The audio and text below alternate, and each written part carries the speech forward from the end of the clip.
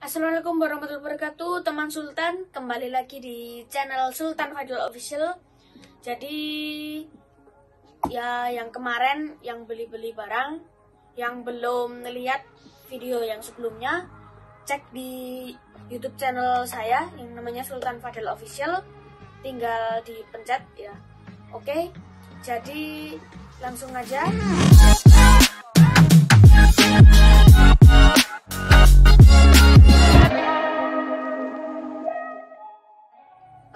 untuk alat recordingnya terlebih dahulu ya. Ini video lightingnya saya ini simpan terlebih dahulu di bawah. Jadi yang pertama ada mikrofon. Oke yang mikrofon ini saya beli merek Tascam ya. Ada merek Tascam di sini. Sini ada merek Tascam. TM80 ya saya belinya. Kondensor mikrofon ini ya. Kondensor mikrofon ada di sini jadi langsung aja kita buka ya teman-teman. Oke, jadi yang pertama ada mic holder ya, mic holder. Ya, ini mic holder ini untuk menaruh micnya, untuk menaruh micnya, mic recording tersebut. Oke, kita taruh di sini. Kabel, yaitu adalah kabel mic ya, mic aslinya tetapi karena ini kurang panjang ya jadinya saya ya buat kabel sendiri lagi ya karena pakai kabel yang lain nggak bisa. Jadinya saya buat kabel sendiri. Oke kita taruh di sini. Yang kedua kita ada bonus ini holder ya. Kecil banget. Oke lucu ya. Oke, tapi nggak ada apa-apa yang bisa direview dari ini. Nah langsung aja kita ke ini Oke, sebelum kita review ini kita cek terlebih dahulu dalam kardusnya. Ini ada kartu garansi, ya, ada kartu garansi. Kita masukin aja untuk disimpan dan ini ada bukunya, cara pemakaian dan yang lain-lain ada di buku ini. Oke, jadi kita taruh bawah terlebih dahulu ya, teman-teman. Langsung aja kita buka. Ya. Oke, jadi ini modelnya saya suka warnanya silver elegan ya. Jadi di sini ada tulisan Tascam TM80 oke jadi biasanya untuk mic mic seperti ini yang keluar suara yang kencang hanya ada di sini ya yang jelas. Nah jika di sini biasanya tidak. Barang selanjutnya ini dia yang kita tunggu-tunggu yaitu adalah audio interface ya. Audio interface. Audio audio in face muka. Ya oke. Jadi kalau nggak ada ini ini yang belum tahu adalah untuk menyambungkan mic yang tadi kita review ke sini. Ya masuk. Masuk. Habis itu kita sambungin ke PC atau laptop kita. Oke jadi langsung aja kita buka ya. Di sini saya pakai UR22 MK2 dari Steinberg Yamaha dan oke okay, dan aplikasinya ya. Yang belum tahu ada aplikasi yang dari softwarenya untuk laptop atau PC ada Cubase i ya. Ini ada tulisannya Cubase i di sini. Dan ini juga bisa pakai uh, iPad. iPad khusus iPad. Hanya ada di App Store ya. Tidak ada di Android sayangnya. Oke jadi langsung aja kita buka yang pertama ada audio USB interface ya. Ini untuk kita menyalakan audio interface tersebut. Ya, kita taruh di sini terlebih dahulu dan kita juga dapat kaset. Saya nggak tahu ini kaset untuk apa ya. Mungkin besok ya aku bakalan review kaset ini. Dan di sini ada kartu garansi dan kartu kepemilikan kita taruh di sini. Dan di sini sayangnya bahasanya ada bahasa Jepang sama bahasa Inggris. Saya tidak tahu bahasa tersebut ya. Oke dan ini dia untuk yang mobile. Ini dia UBS LI download informationnya ada di kertas ini ya. Kertasnya banyak banget ini guys. Waduh bahasa Rusia ya. Udah kita taruh aja langsung untuk bahasa Rusianya. Dan ini ada bukunya. Bukunya adalah bahasa Rusia dan Inggris. Ya. Dan ini untuk bahasa Indonesianya. Tetapi kelihatannya lebih komplit yang ini ya karena ya yang dari sananya langsung. Oke jadi ini yang bahasa Indonesia. Kita taruh di sini. Oke jadi langsung aja kita buka barang ini. Aduh, agak berat ya beratnya itu 1,6 kilo. Oke jadi ini dibungkus plastik warna pink. Kita buka sebentar guys. Nah ini dia. Kita buka. Jadi kita review di depannya terlebih dahulu. Di sini ada gain ya guys. Di sini ada gain untuk mengeraskan volume ya. Ini di sini ada gain untuk lebih mengeraskan volume untuk mic atau untuk instrumen. Lanjut ya.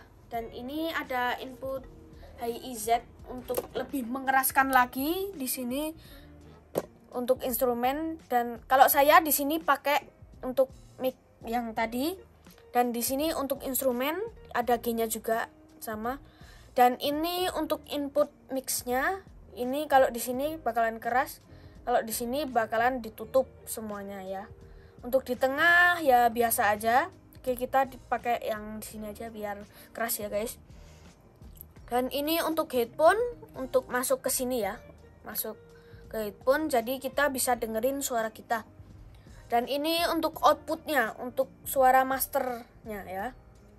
Oke, jadi langsung aja kita ke yang belakang. Ini ada yang 5 volt DC ya. Ini tetapi cara pemakaiannya untuk 5 volt DC-nya kayaknya nggak bisa. Ada di sininya. Ya kalian baca-baca aja untuk jadi jadi kalian ngebeli ini baca-baca terlebih dahulu untuk menyalakan 5 volt sininya ya. Oke jadi lanjut lagi. Ini USB untuk langsung bisa masuk ke sini atau enggak masuk ke adaptor HP oke sini ya guys. Ini tempatnya. Ini tempatnya. Oke kita buka dulu ya. Kalian yang penasaran kok kayak gini gitu. Kita buka terlebih dahulu. Jadi ini dia. Ini dia. USB nya seperti ini. Ya kayak USB printer gitu ya. Ya caranya itu dimasukkan sini. Habis itu kalian colokin ke sini. Ya. Nanti ya kita kasih tahu caranya untuk menyalakan ini. Oke kita taruh terlebih dahulu ya. Nggak usah dimasukin nggak apa-apa ya guys ya. Nggak berantakan dikit.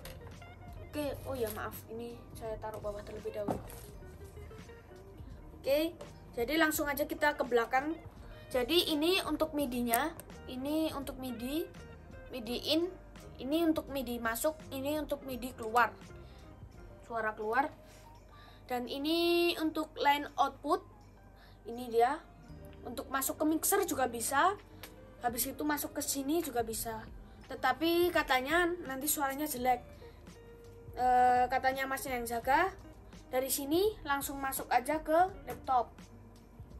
Oke jadi ini udahan ya ini udahan. Oke ke barang selanjutnya oke jadi langsung aja kita ke barang berikutnya.